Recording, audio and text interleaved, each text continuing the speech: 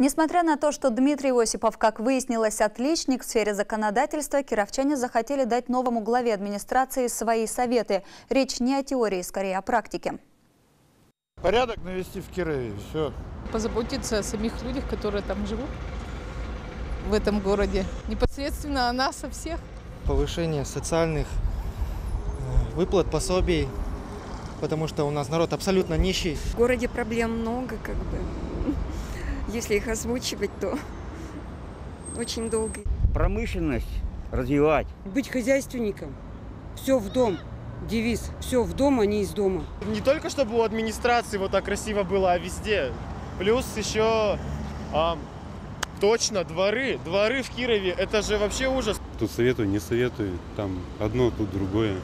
Там жизнь своя, здесь другая совершенно. И удачи пожелать ему, потому что что-то у нас часто глава меняется, и народ-то, мягко говоря, недоволен. Хочется уже хозяйственного какого-то человека, который бы взялся на наш город и сделал его лучше. Дороги, чтобы были хорошие. Ну, транспорт, чтобы у нас как-то немножко обновился пассажирский. Потому что некоторые автобусы вообще в ужасном состоянии. Дороги. Чтобы все было хорошо, чтобы народ жил. И на Волково сделать ремонт дорог Христа ради, а?